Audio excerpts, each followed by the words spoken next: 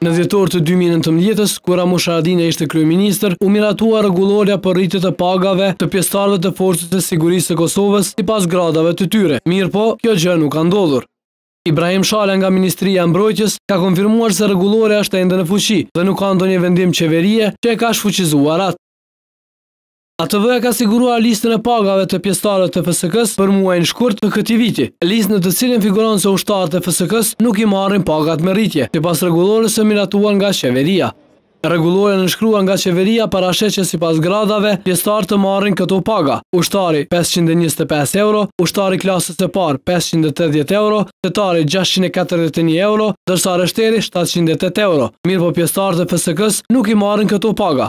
Madje diferenca të mëdha nuk ka as në pjesën e buxhetit dedikuar pagave të FSK-së. Të dhënat zyrtare tregojnë se njëzet e tre pikë katër milionë euro ishin ndarë për pagat e FSK-së në vitin dy mijë e nëntëmbëdhjetë. Në vitin që lamë pas ishin ndarë njëzet pikë pesë milionë, ndërsa në vitin dy mijë e njëzet e një janë ndarë njëzet e katër pikë katër milionë.